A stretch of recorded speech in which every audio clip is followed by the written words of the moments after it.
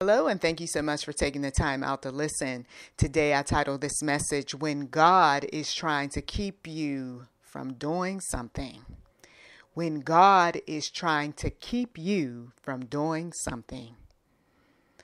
Oh, some individuals, they love bragging about how they finally overcame, how I finally got what I always wanted. From a pair of shoes on their feet to a human being in their arms. Oh, look at me. Look at what I got. Oh, how I finally arrived. But there were those years that God was trying to warn you in so many different ways.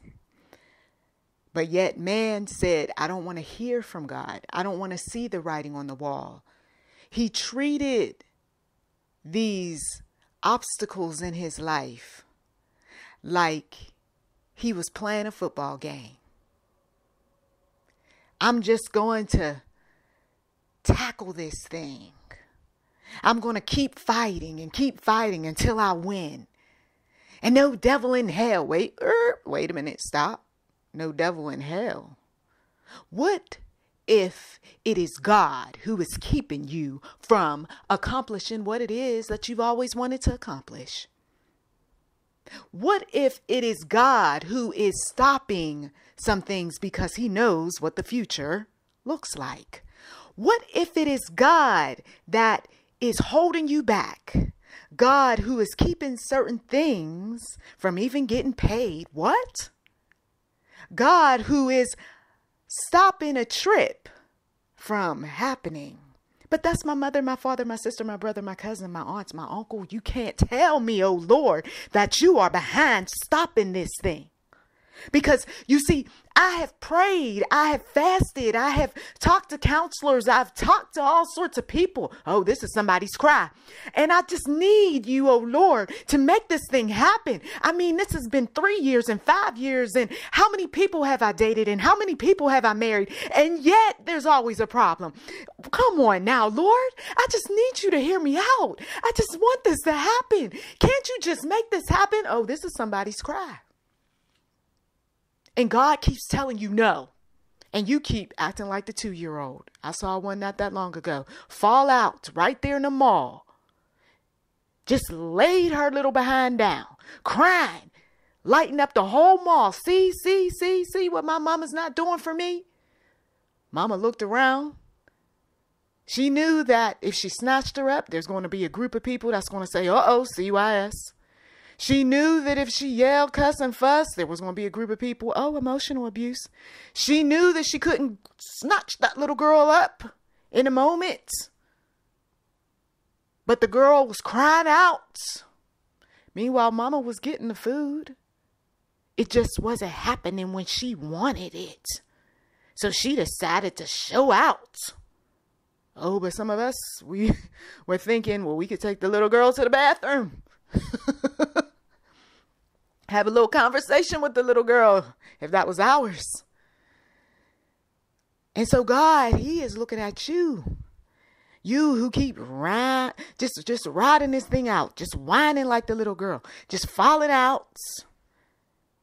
Sometimes people are confusing lying prostrate in the church to somebody just having a tantrum. Uh oh, come on. That's why some ministers don't feel a movement if you will, a stirring in their spirit to go over there and lay hands. It's like they ignore them. You know why? Because that one's just having a tantrum, says the Lord. Uh oh. Uh oh. A revelation for somebody. You see, why, oh Lord, didn't you move me to go over there and lay hands on? Why, oh Lord, didn't you have me lie prostrate right along with? How come I didn't feel the Holy Spirit, that fresh wind, that anointing? How come it didn't take over the church and it was just that one? Because that one right there, he or she's having a tantrum. And I keep saying no. That's what they're not telling you. They keep talking about it's like there's a darkness over my spirit. There, it's like I don't, I just can't seem to win. I, I just don't understand. And it's just the Lord, come on, telling all of us no. Oh, it's not just me. It's not just that one that we talk about or those few over there. Oh, it's me. It's you. That thing that you want, or those many things that you want, or that thing at which you feel is most significant, most important, and everybody else, they're getting their blessings. And I mean, that is the norm, right? The job. I mean, I just want a job, but not that job. But I mean, come on now, everybody else, they're getting jobs and they're getting opportunities and they're making great money. And I mean, I need to be making some good money. Come on now, Lord. How many of us have said that over the years and instead we got nickels, dimes, and pennies? Lord, how come I can't? And then we found out, oh, there was a curse that was put out there in the atmosphere. But God, He has a way of taking some things and turning them around, but still, we wanted thousands. We didn't want hundreds. Come on. Some folks, they said, I didn't want the apartment. I was believing the Lord for a house. Exactly. But you didn't get what you had been praying for. And when you did set out on the path, wasn't there some obstacles? And some of you all are saying amen, and it's still going on.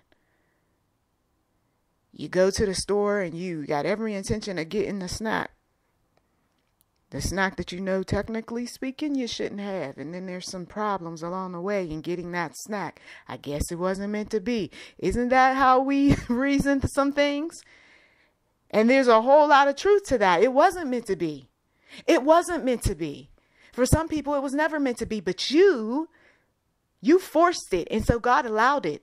And now you're about to witness what's going to happen in the future. Oh, there's going to be a mama and daddy that's going to cry because God, He didn't call everyone to parenthood, contrary to what some people believe. Well, my personal opinion is that everyone should have their own baby. no, that's not true. God, He has His reasons as to why some people should not, ought not.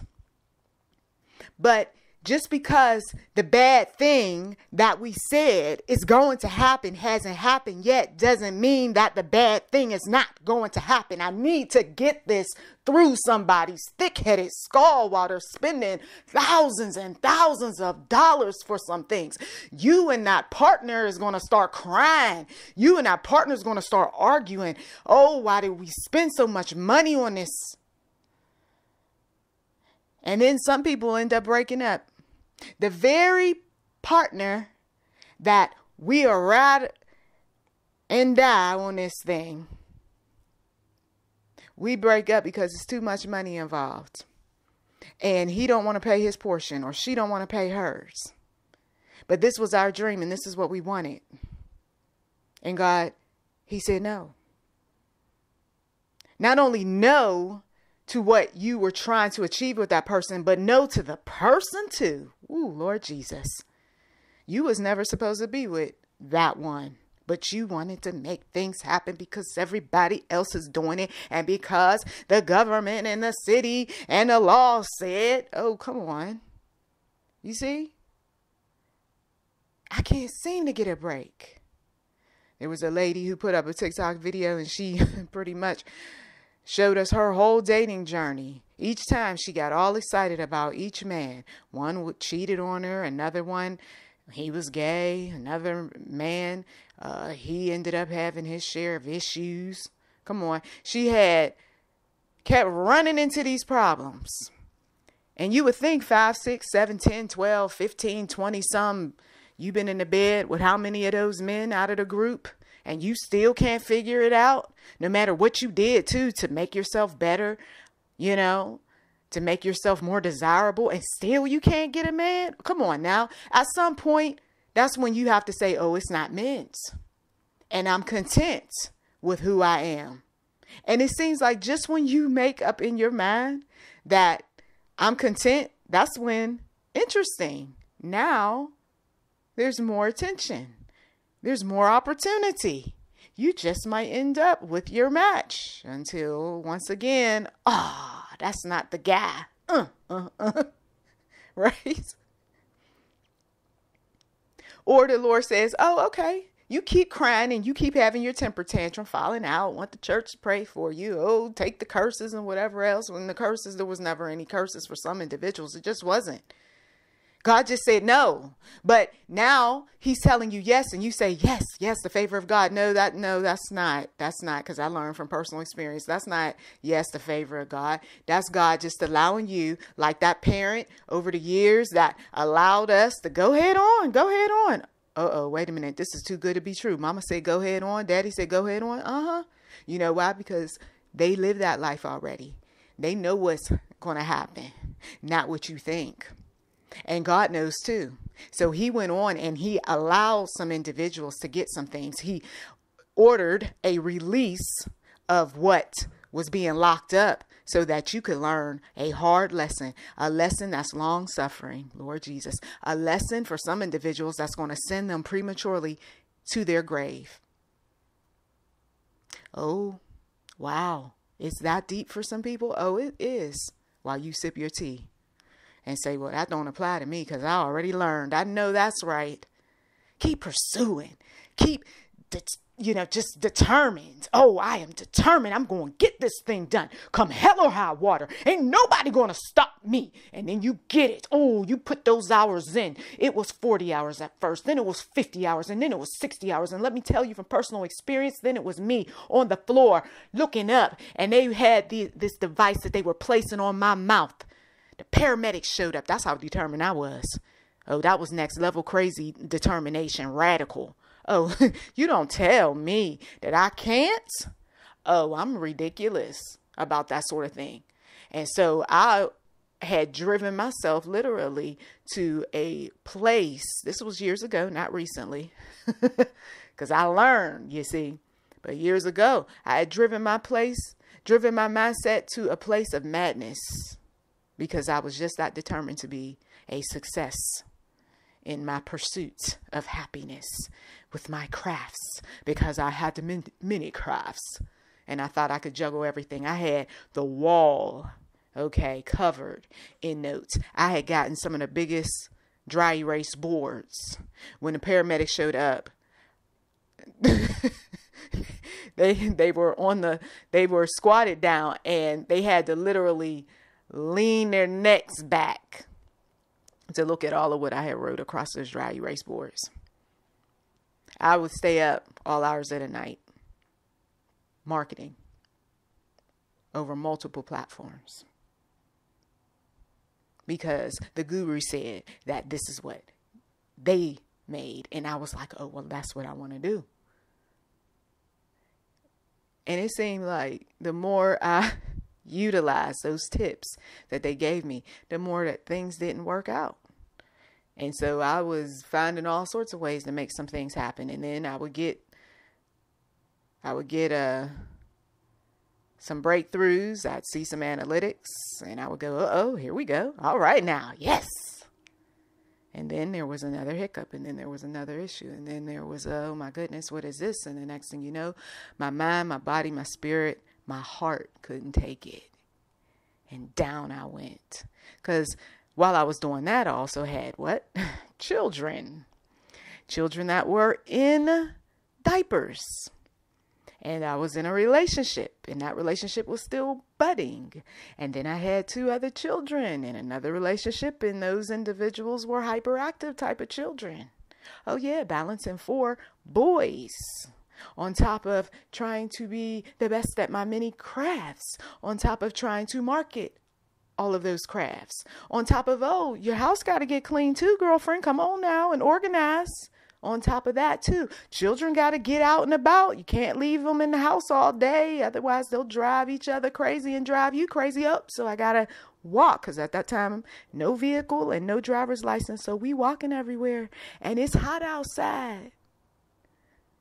You who have the air conditioner in your automobile as you drive past and you see people in the heat, and I was one of those with children, portion a double stroller and two young boys as well on both sides of that double stroller with two boys in it.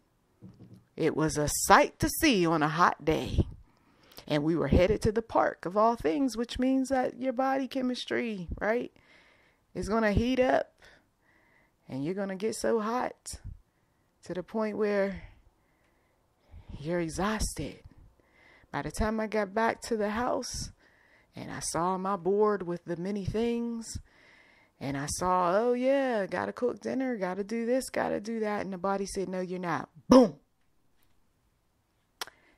Down she goes. So you want to make some things happen, and you're determined.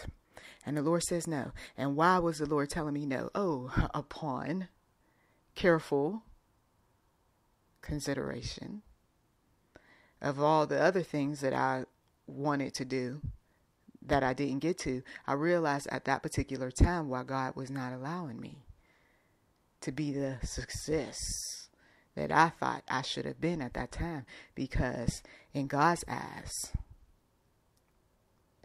the success was with parenting and being a good at the time partner which later I became a wife that was what that particular season in my life called for.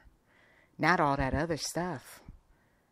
And some individuals was even saying, well, what's up with the man? I mean, the man, he can help you out, right? He can hook you up. You don't have to work that hard. But my dreams were bigger than his wallet. And the children's expenses cost more than what he was willing to budget for. And yes, there were many conversations, and conversations turned into screaming matches. And then eventually, God Himself said, I don't want you to have any of it. Let's go. And so I had to take a sabbatical during that particular time in my life until some folk can reevaluate and come up with a better plan as to how we were going to get some things done because my mind was like, we're not going to think about anything else and we're not going to do anything else. And so it was shutting down rapidly. That's what some of you all would call panic anxiety attacks that turned into seizures. Now, you don't know your future. All you know is what is in the now. Some of you all, you got a good idea of what your future looks like based on the type of hours you're putting in, based on your analytics, based on what other people have told you, so on and so forth. But there are always those humdingers along the journey of towards success. And if you don't know how to deal with those humdingers, or you don't even have an idea what those problems might be, then you're just going to press on, even though the writing on the wall is slow down or stop. Do you want what God has to offer or no? Well, yeah, somebody says, I want what God has to offer because I know not everybody who listens to this channel wants what God has to offer. Matter of fact, God isn't even real to them. So when I'm talking to them, it's like I'm giving them information like a Santa Claus or a fairy godmother, you know, a fantasy. And so for those individuals, I can't I, I can't go there with you on whether God is real or what have you. You got to listen to somebody else's channel on that. But what I can say is for those that do have mustard seed faith, that when there's enough information that is pointing you in a different direction and it's not the direction that you really want to go and it's more of a direction where there's a stillness there's a calm there's a peace there's a settling down and let's not pursue any more or anything additional, or don't put another thing on your plate. That's God. When there is block after block after block, may not mean that you got to give it up. It just may mean that the time, the season is not right for you. I will tell you that when I went full speed ahead again, I focused in on one thing as opposed to multiple tasks. And when I focused on one thing, then I started to see that there were some victories. It wasn't, of course, as many as I would have liked, but there were some victories. While I was pursuing one thing that I could manage, that's when there were other things that came into play that would take me away from that one thing that I was trying really hard at. Those of you all who are familiar with When Mothers Cry, the book that I wrote, Laboring to Love an Abusive Mate, Laboring to Love Myself. Those three books were during the season of all the chaos. And those three books was also during a time where the Lord was saying that you're going to eventually get a job. It's just that you're not going to get a job right now. And I wanted at that particular time when I was writing those books to have a job so that I could be able to take monies from that job and market the books. But what was hard for me to accept was that I couldn't market the books the way other authors were marketing their books due to lack of finances because, hey, kids got to eat and kids need clothes. And the man could only pay for so much. And that was something that he wasn't going to be trying to budget for because there were so many other expenses on his plate. You see. And so God knew what was going on at that particular time. So I had to find other ways to make money. And it wasn't going to be the traditional job because that wasn't doable at that particular time. We lived in California, and those of you all who are familiar with Los Angeles County, you know what that rent looks like. You know what electric bills look like, and you're running AC all day, every day. And not only that, some of you all, you know that the bus system at times, depending on where you are, it's a hit or miss. That's why a lot of individuals have cars. So it wasn't a good time. It wasn't a good place to be pursuing a whole lot of things all at once. You see. But is it ever a good time to pursue a whole lot of things all at once?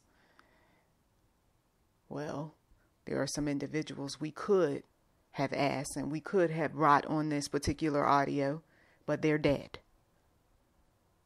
And I will tell you that their answer would be no. No. Trying to be all things to everybody? No. Trying to do everything all at once? No. You'll drive your you'll drive yourself mad. Some of you all God is telling you in so many different ways, but are you listening? God is showing you that this is okay. This right here has always been okay. This particular project, this particular task, this particular environment that you're nurturing, this particular place, right? Or relationship, what have you. But all this other stuff that you got going on over here, no. Now, some folks are flipping some things around. They're saying, okay, this was good for yesteryear, and that's the season I'm in. There were some things that were good for yesteryear, and we had a good run. But now some of those things are being faded out.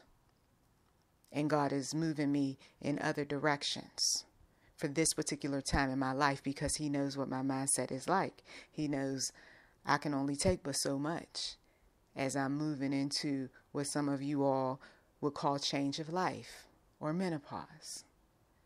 And I got enough sense to know that when I'm not right in my mindset, and my body is not where it should be, I'm not talking to anyone. The Lord, He will shut my mouth. And some of you all, there's a season, there's a season where you are to be quiet and stop with all of the lashing out and getting angry and going off and, you know, long speeches and whatever else. He will shut our mouths up, won't he? Say, I got a work to do in you. And it's not the work that you've been. I just wish in those temper tantrums. And I just want in those temper tantrums. And I just need. And then there's the anger. And God didn't give me what I want.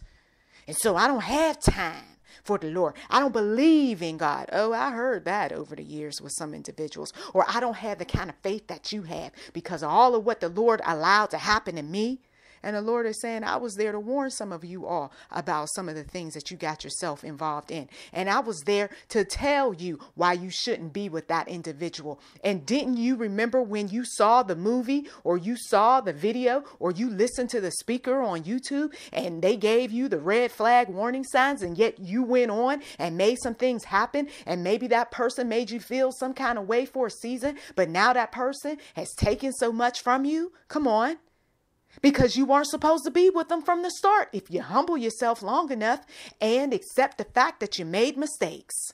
Or the individuals who I always wanted to be a parent, and then, as quiet as it's kept behind closed doors, they wish that they never were parents. But hey, this is my lot in life. I made my bed, so I'll go ahead on and I'll do what I need to do. Hence, when mothers cry. I keep it 100 with you. I don't sit up here and sugarcoat and say, oh, it was just beautiful when the Lord gave me what I wanted. Not necessarily what He wanted, but what I wanted. No, it wasn't. It wasn't because I ended up having to work harder than I've ever had to work before in my life had I just listened. Come on, some of you all. But the Lord, though, He'll turn those regrets around. He'll turn the resentments around. He'll turn the anger around. And the next thing you know, He puts you in this headspace as if you had always wanted it. His what He wanted for you, not what you wanted, as if you had always wanted what He wanted. And then you think about it, you say, I didn't always want what God wanted for my life. but because you finally took your hands off the steering wheel and said, I'm going to get out this car and I'm going to let God drive this car. Now, come on now. can I tell you, God can appoint a driver to drive you where you need to go because he knows that you're ill equipped mentally to drive on that day. I mean, that's why we got some gifted drivers because of all the folks out here who think they can drive and they really can't. Some of you all can say an amen on that, right? Who said that this person should get their driver's license? And then they get their driver's license after all these obstacles, all of this trouble. And then, oh my goodness, they're out here on the road. I know God didn't call that person to drive. Some of you all, you say, I may not be into God like that, but I know that God didn't call some people to cook. Lord Jesus. That's why we got some of the most talented cooks out here. Why are you sitting up there struggling eating somebody's food and you know that they don't cook as well as they should or could or maybe it just was never their calling? Some other people, oh no, I know God did not call this person to work for us. Mm-mm, you nope. Somebody lied on their resume. Mm-hmm. They probably took somebody else's resume and then put their name on it. Uh-huh, because this person don't know what they're doing. Exactly. But they wanted this organ wanted to be a part of this organization so bad. They pr- they just prayed, they cried. They wanted connections within the establishment. And they got it. They finally got in. And now even they know, oh, I'm sorry, Lord, this isn't for me. This isn't my calling. Exactly. That's why I blocked it. That's why you didn't finish your degree. As quiet as it's kept. Some things you just aren't called to. Had you listened to me early on, I could have saved you a whole lot of money. I know God spoke to us about a lot of things. Some people said, but no, it had to be. It had to be the right path for you because, you know, you're so good at it. We could be good at a lot of things, but it doesn't mean that that's the path that we should be on because there's so many paths that didn't have to cost us as much money as it did.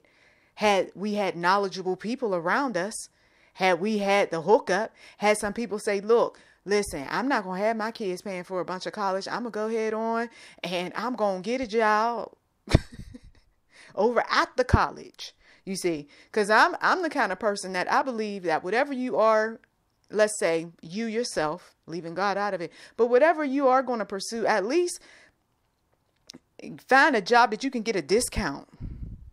You know, on the supplies, on the materials. You know, at least save yourself some money because like the, so many small business owners who just started out told me they said well you know, I don't want to be spending a bunch of money because I don't know if this is something that I want to continue to pursue after a year. So they're giving themselves a year, many of these people, a year. Because why? They know they picked it out. You can't tell me that God. Because if God picked it out, you don't just stick with something for a year. I noticed that with him.